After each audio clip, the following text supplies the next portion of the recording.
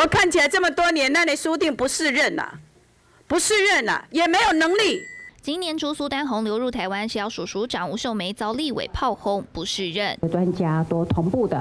到呃宝林茶室这一边哈进行相关的一个稽查。再过一个月又爆出宝林食物中毒案，吴秀梅上任七年，争议一箩筐，屡遭点名。二零二二年新冠疫情爆发，隔一年出现缺药潮毒梅果事件，而今年更是一案接一案，从台糖猪物验出西部特罗到苏丹红宝林茶室，近期更爆出输液大缺货问题，传出总统赖清德震怒，而吴秀梅惨遭拔关，预计六月底卸下职务。食药署吴前。署长在过去七年也在工作岗位上，让我们看到他的专业跟尽职。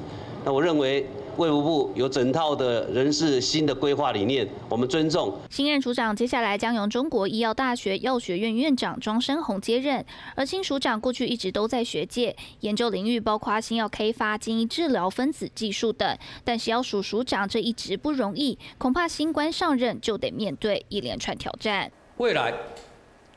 只要署署长要认清，要有能力去处理缺药的危机。未来的署长从学界到卫福部担任署长，心态上要有很大的改变。面临的不是只有药界、食品界，还有其他的行业。未来还要面对立法院，所以沟通能力、协调能力。一定要好好的加强。理事长分析，历届多任署长都因为食安问题下台，该怎么加强这一环，让国人安心，将是首要课题。三立新闻张博罗佩宇、孟国华台北采访报道。